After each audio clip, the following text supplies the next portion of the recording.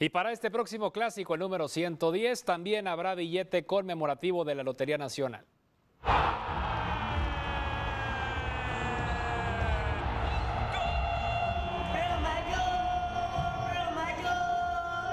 Un clásico con toques de lotería o lotería con toques de clásico.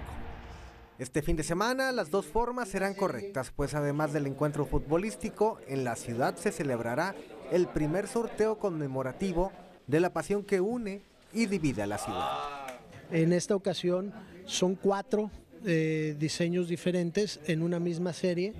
Eh, viene el estadio de los Tigres eh, de 50 años, viene un grupo de aficionados por apoyo también y reconocer la afición, la mejor afición de México que es la de Tigres.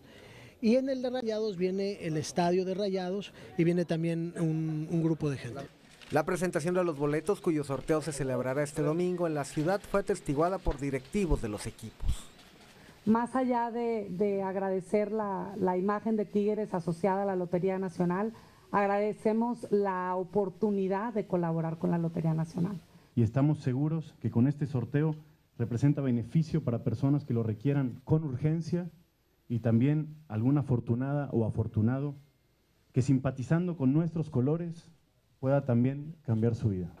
El 30% de lo captado con las ventas de los cachitos conmemorativos del Clásico Regio se destinarán para programas federales de salud y educativos.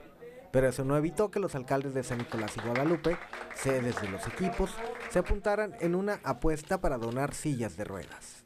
Y ahorita nos pondremos de acuerdo el alcalde de Guadalupe y un servidor, y a ver si incluimos uno que otro alcalde más, como puede ser el de Monterrey, para hacer una apuesta más amplia, mayor y... Que gane el mejor, que estoy seguro serán los rayados. Ya son, ya son clientes los Tigres en el estadio de Ciudad Guadalupe.